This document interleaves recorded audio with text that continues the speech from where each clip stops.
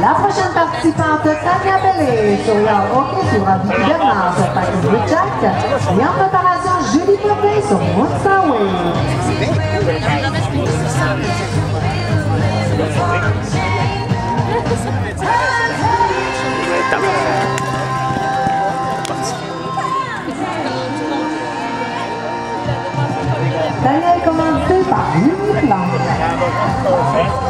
Des fois.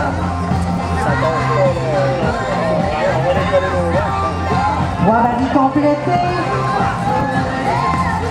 Elle termine avec un 17 583.